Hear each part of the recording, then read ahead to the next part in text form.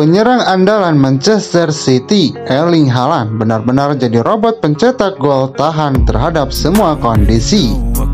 Pemain asal Norwegia tersebut kembali menambah pundi-pundi golnya bagi Manchester City saat bertandang ke kandang Munchen tengah pekan kemarin di perempat final Liga Champions leg kedua meski sempat gagal penalti.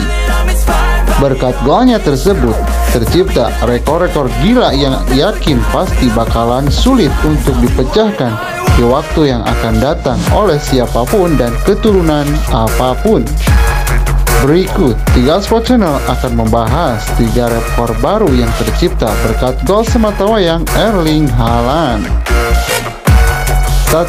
Pemain tercepat cetak 35 gol Dikutip dari situs UEFA, Haaland saat ini menjadi satu-satunya pemain tercepat yang berhasil mengoleksi 35 gol di Liga Champions.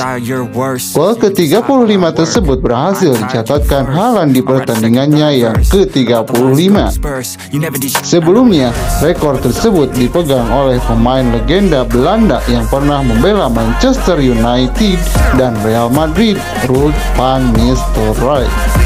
Di pertandingan keempat duanya, Van Nistelrooy baru bisa mencapai 35 gol di Liga Champions.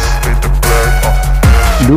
Pemain termuda cetak 35 gol Bukan hanya jadi yang tercepat cetak 35 gol, Erling Haaland juga menjadi pemain termuda yang mengoleksi 35 gol di pertunjukan akbar Liga Champions. Dia mencatatkan 35 golnya saat berusia 22 tahun 272 hari. Wajib kalian paham dan tahu, di musim ini saja Haaland sudah mengoleksi 12 gol di Liga Champions dan menjadi top skor sementara di Liga Champions musim ini. Sebagai informasi ekstra, Haaland tercatat mengumpulkan 48 gol dari 41 pertandingan di semua kompetisi bersama Manchester City musim ini. 3. Rekor Pep Guardiola di Liga Champions Keberhasilan Manchester City lolos ke semifinal Liga Champions kali ini bukan hanya Haaland yang cetak rekor, Juru taktik City, Pep Guardiola pun berhasil catatkan rekor baru. Pelatih berpaspor Spanyol itu kini telah mengoleksi 10 kali semifinal sepanjang sejarah.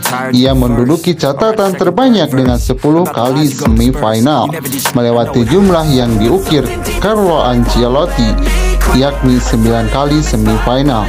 Hebatnya, dua dari 10 catatan milik Guardiola berujung pada gelar juara di musim 2008-2009 dan 2010-2011. Tapi maaf, bukan bersama City, Guardiola sukses menjuarai Liga Champions, melainkan bersama Barcelona.